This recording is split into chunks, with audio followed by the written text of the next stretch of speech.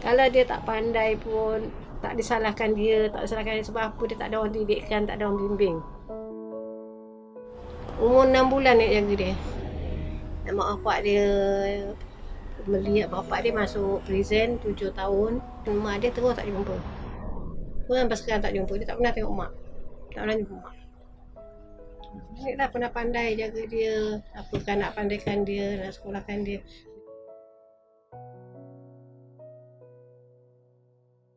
Kalau macam matematik tu tak apa tak faham kan. Jadi macam tak buat sangat. Kalau tanya kawan pun non tak faham. Tanya cikgu pun macam takut gitu tu time. Ha. ha jadi tak tanya. Jadi macam failure maths.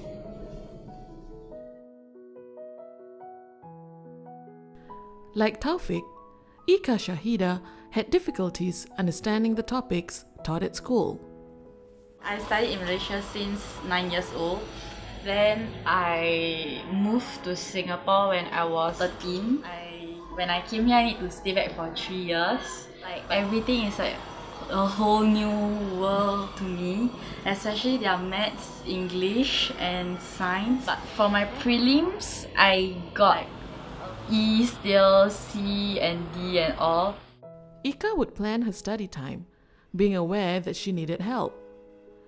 Tuition, though, was not an option because she knew it would be costly for her family.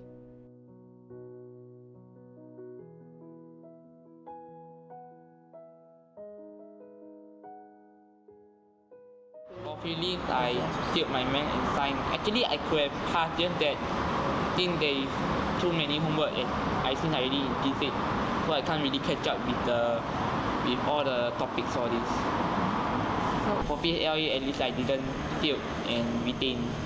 At least I passed. For for prelim, I got D's for math and science. For PLE, I got B for science and C for math. Dulu English fail teruk.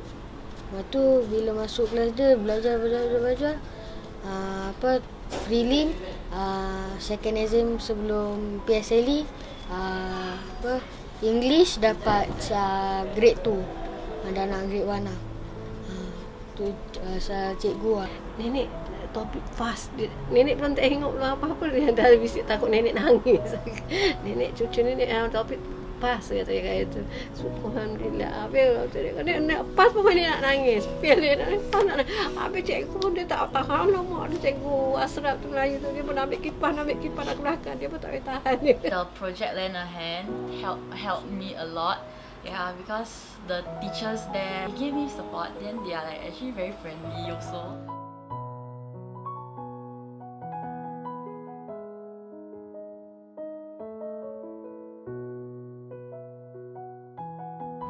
Recommend for my junior physics that if you all would uh, have this chance, to keep this tuition to the physics, I would recommend them to attend it. The Project Lend a Hand fits very well within the global investments team which the firm supports.